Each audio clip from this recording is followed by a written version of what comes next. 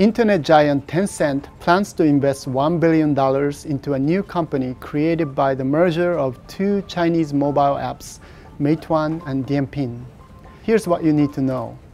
Meituan has been described as a Groupon of China, and Dianping is sometimes compared to Yelp.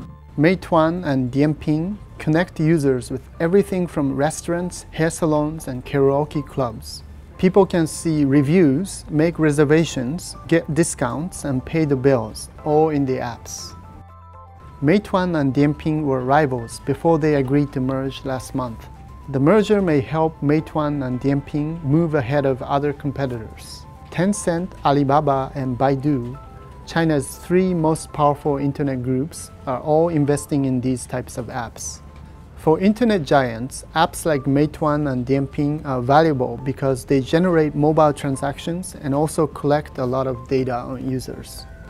As the Meituan Dianping joint business is preparing to raise as much as $3 billion, the new company's valuation could rise to $20 billion. That would make it one of the world's most valuable startups.